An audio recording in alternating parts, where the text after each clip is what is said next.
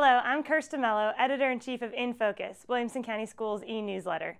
You know, there are so many great things happening in our schools each and every day. So for the next few minutes, we're going to take you inside Williamson County Schools and show you some of the incredible things our students, teachers, and staff are doing on a daily basis. Let's check out the videos.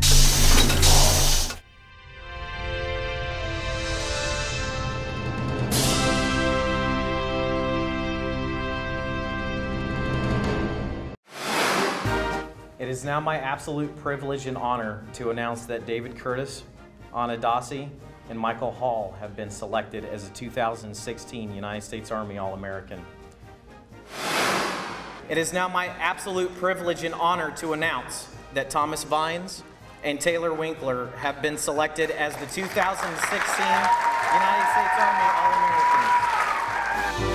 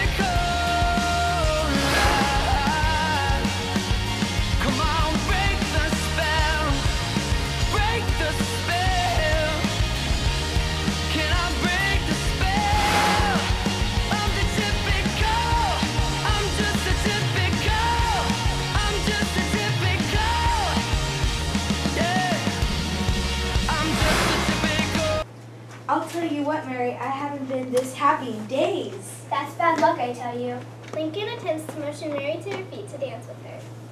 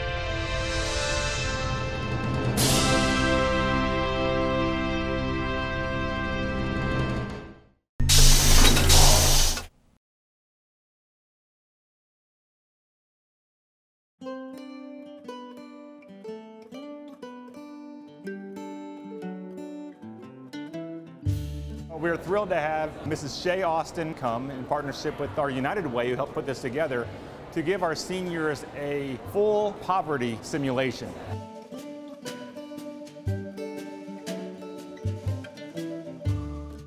We were divided into families and we all had our own little packets kind of like describing our situation and we had to for the next hour kind of try and live off of what we were given So, you buying or selling today? Selling. I was a 10 year old kid, and Sarah was my little brother. And we went to school at first, um, but I couldn't go to school because I had to make money for the family because my mom only had a job. it was kind of funny how like everything just kept going like it, did, it never stopped there was always something new that would like hold us back We have to pay $245 in utilities. They have to go out there and deal with those real world decisions like getting benefits for your child or getting a job or having transportation costs paid for. And then at the end of the month, as the weeks go by, the money starts drying up and those decisions get tougher and tougher. I mean, I had a job and I showed up for it and I got paid well and uh, I had uh, someone at home who had a kid and so I was also paying for that and doing all of these right things and watching all of these people do these wrong things around me and it seemed like the wrong things were paying off more. The people who were selling the drugs had more money than I did and I was making an honest living. I never really thought about how much poverty affects all ages. It was it was weird being in that position because like a 10 year old can sell drugs and like end up in jail or bring weapons to school and stuff like that. Like it's pretty crazy. this was a simulation but it's way harder in real life and it's really eye-opening I always just want to think they did it to themselves or it's because they don't work hard enough or things like that, you know, things that, or that they're addicted to drugs and, and, and just like basic stereotypes and think maybe these people really are trying as hard as they can and they, it, it's just not enough. When you think of Williamson County, people don't think of poverty. But the reality is that what our students are learning is that poverty is an issue for many people in this county, even in, right here in downtown Franklin and across the county as a whole. So the, again, the more we can bring awareness to the issue and understand the decisions that they're making day in and day out, the better our students will be able to go into the community and help bring the community together to respond to that challenge.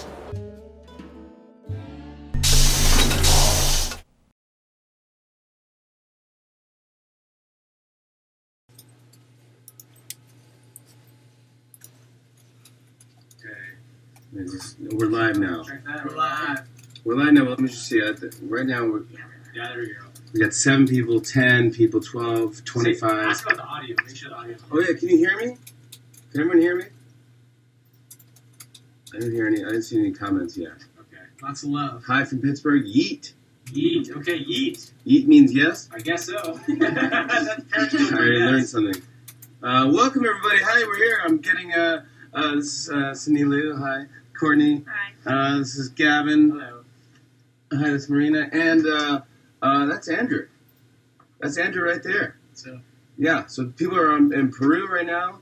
Uh, uh, so Andrew is uh, shadowing me for senior. Oh, someone from Franklin. yeah, shout out to Franklin. Now you're from Franklin, right? Yes. Tennessee, and the high school is Franklin High. Franklin High School. Yeah, uh, and I gotta say, you got a lot of people that uh, like you, and you, yeah, actually meeting you, you're a really charming, really nice guy. Thanks so much. And uh, I, I, I saw that. Thanks. And I saw the uh, the video. Uh, shout out to Allie in Gulf School. Was that?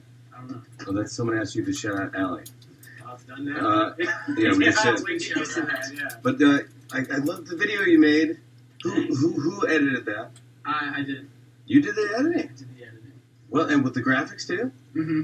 Well done. Thank you. I thought at one point I was just zooming in. Who did the camera work? You? Yes. That's fantastic. Who did the music?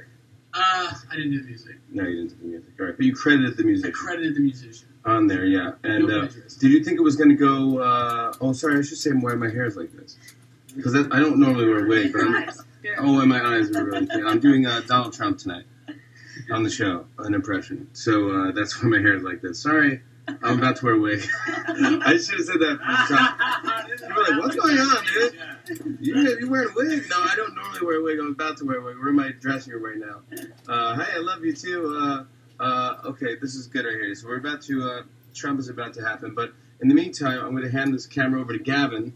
And then Andrew, as, as you're part of shadowing, shadow, Yes. senior shadow day, is so all the seniors over Franklin Yes. are seniors shadowing right now. Shadow. So congratulations to everybody. And you chose me. Why did you choose me? Love the show. Love uh, uh, the show. Love uh, Yeah. love just uh, you know all the all the positive stuff you guys are doing, and uh, you seem like you have a really fun time out there. It's Yeah. really fun to watch. Oh, good. And uh, Did you ever think it was going to happen? absolutely not. well, that's a good uh, thing to tell people because we get asked to do it all the time, and I just tell people I wish I could, but you know, it's just so many requests to do. But you had that drive and that determination to make this happen, and I think that that's a that's a really big uh, part of any uh, any job. Uh, so it's a good thing for seniors to learn if you're going to school, uh, if you're going to go to college, or if you're just going to start a job, or you're going to go to community college and, and do a job, both. Either way, you have to have a drive. You have to have drive and go, like, I want this job where, wherever it be, you know, wherever the job might be. To go for it and go, I got to make this happen. I'm to make this happen. But you, you just kept doing these funny things, and then the support you got was overwhelming. Crazy. I mean, what's the name of your? It's your superintendent. What do you call your principal? Dr. Looney. Dr. Looney loved you. Yeah. Yeah, it was full on support from Very, them. very Hi, Hi. this is our stage manager, Hey. Nika. Is Andrew? This This is Andrew. Hi, nice to meet you. Welcome. Thanks so much for having me. How are we looking for time? Oh, we're, and we're also periscoping. Oh. Hey, say hi to everybody, Oh, Nika. hi. um, I want to know how much longer you guys need. Just give me a time. Seven, Seven? seven. Seven is good. Okay, sounds Thank you. good. Great. So we're about to do a sketch uh, with me as Donald Trump, and David Alan Grier is playing Ben Car- Ben Carson, Dr. Ben Carson, uh, watching the Democratic debate that was last night. So I'm getting the hair on right now. I'm sorry. So, uh, Andrew, did I cut you off? No. is that in our regular. Or I was just rambling. Uh, do you have any questions for me? I do. I have kind of some of the, uh, the cliche job shadow questions. that Okay. I'll probably have to fill out Oh, good. Yeah, yeah I want to get a good grade on it. Yeah, thanks. But it was Dr. Looney shout out to you because that's that's a big endorsement. Definitely. So you owe him. All right. So um, this is you probably heard this a billion times. What's the uh, what's the best part of your job? Uh, make people laugh. The fact that I can make someone who's having a bad day have a good day, that's priceless. Absolutely. It's just the coolest. What were you doing when you were 17, 18? I was uh, doing the talent contests, and uh, I was going to school. Right? 7, 18. Am I in college yet? No. No. High school. So I was in, going to high school, Saugerties High School. Uh, I had no connection to the business whatsoever. My parents didn't have any connection to the business. My sister, nobody. But, but very funny people, very, very funny parents. Uh, we were a middle class family.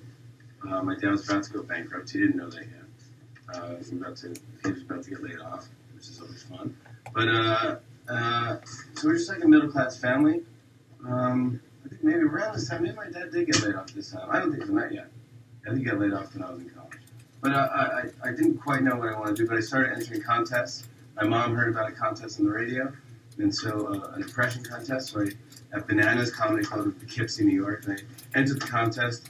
It was world's funniest, or Hudson Valley's funniest comedian. I you had two minutes to do an impression, so funniest impression. So I did two minutes, but I added I did like twenty impressions. So I did like uh, you know Jerry Seinfeld and Adam Sandler and Bullwinkle and Pee Wee Herman and stuff like that, and I ended up winning. And then I go, oh, I can make a living off this. So I just started entering uh, talent shows. It's awesome. I think it's really cool that uh, you know you've always wanted to be, or you always wanted to be on SNL. Like that was your dream, and then you got it. Yeah. What's that all about?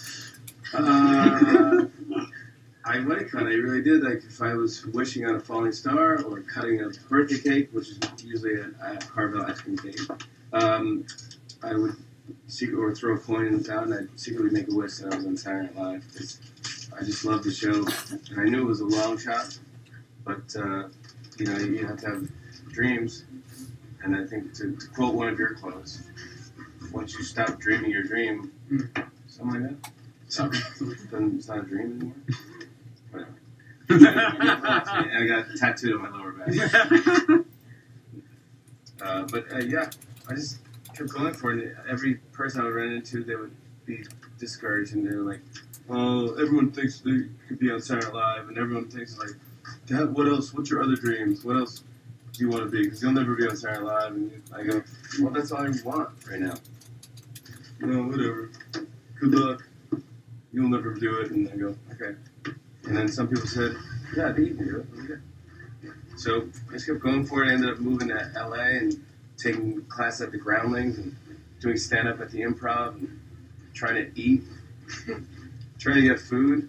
The thing, the good thing about playing the improv, they would give you dinner as part of your. They would give you seven dollars a gig. Seriously, seven dollars. That wouldn't hurt me. seven dollars. No, the money. No, I mean the pin hurt me. The money hurt me too.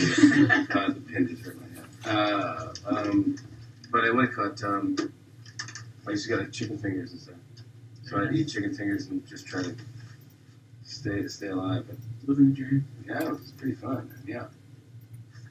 Awesome. Uh, what's something that people wouldn't know about the show? how much work uh, everyone has to do and how great everyone is. I mean, from hair and makeup, this is every single day they do this. Uh, to our uh, social aspect, I mean, I mean the fact that we're periscoping is something that no one, I don't think right now, because nobody else is periscoping right now. But reading Twitter, reading tweets, I mean, we wouldn't have found out about you if we weren't all uh, talking to each other, you know, and communicating. Uh, but there's editing, there's lighting, there's audio. There's so much work that goes into a show, and we do it five five nights a week for an hour, and it's just you know, it looks like it's not that much work, but so much work goes into all this stuff. Uh, it's impressive to see all these, be around all these talented people. I wouldn't trade it for the world. But I'm not just saying that 'cause you guys are here. Oh. I love you. I'm gonna have to let you go. No. I don't want to finish the makeup.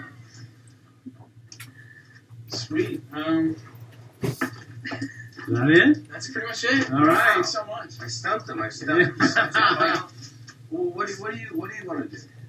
Oh man, um, looking at TV or film or social media, really anything No, what, what, here is like, awesome. Like, what do you mean? Do you want to host something? Do you want? I think because That'd you're very awesome. charming, and people seem to really like you. And I think you got you're good on camera. You got your own personality. I mean, I think that's the secret. You got to find your your thing. Your Mhm. you know um, uh, your brand. Yeah, like that was the one thing that I, you know when I was taking over for Conan O'Brien, I was like, they were like, what do you what do you think that's gonna be the hardest part? I was like finding who I am, finding my brand. 'Cause Conan has it. Mhm. You know, he's kind of like that nerdy, kind of weird, but you know, smart but funny. You know. Mhm. Um, and I was looking for that. I didn't know what my thing was. But you just gotta keep trying until you end up finding your thing. How many periscopers do we have, Gavin? We have like 7,000 right now. Wow. Seven thousand. That's good. And from all of them are from Franklin. Above a lot of them are, I'm sure. Do they have any questions? Uh, let's see. Who's got a question? Uh, things have been coming and going, so one last chance. Everybody in Periscope got any questions while we're while we're here? Uh, I think they're they're the comments are not loading right now. I bet you there's a bajillion of them happening.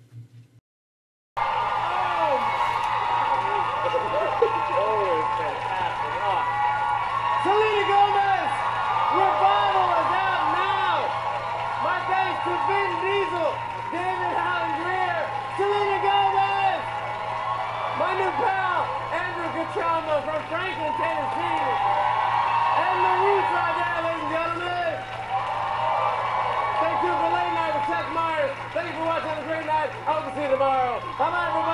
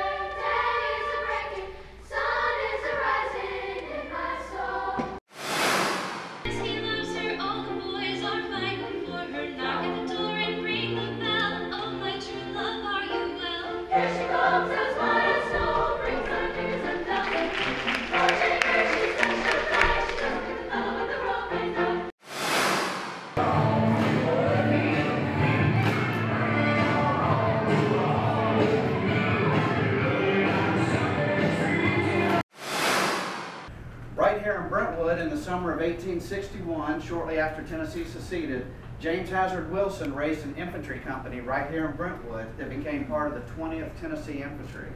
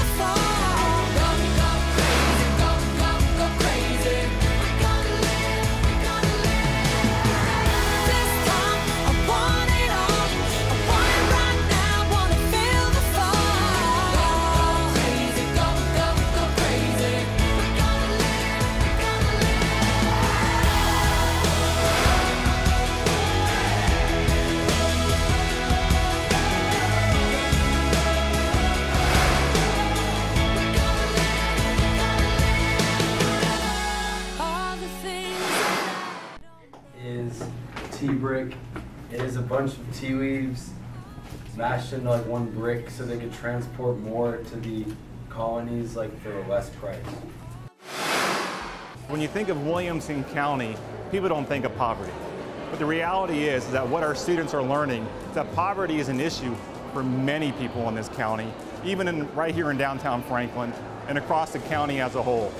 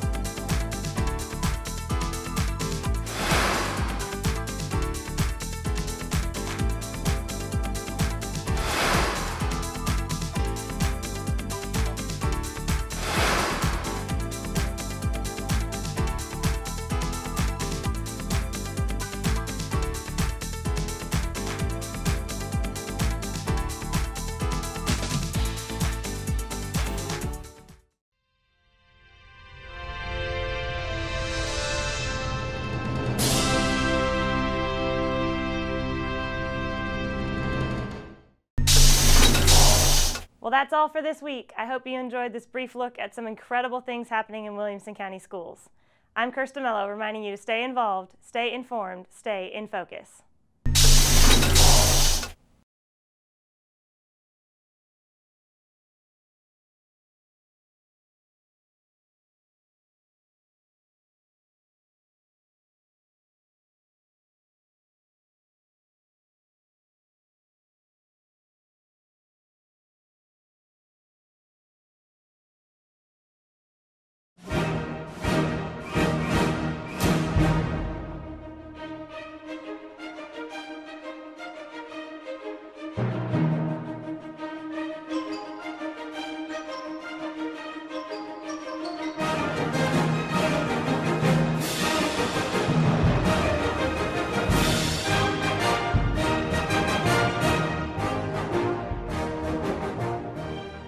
Today the classroom is different. Learning, Different. teaching, Different. testing, Different. technology. Essential.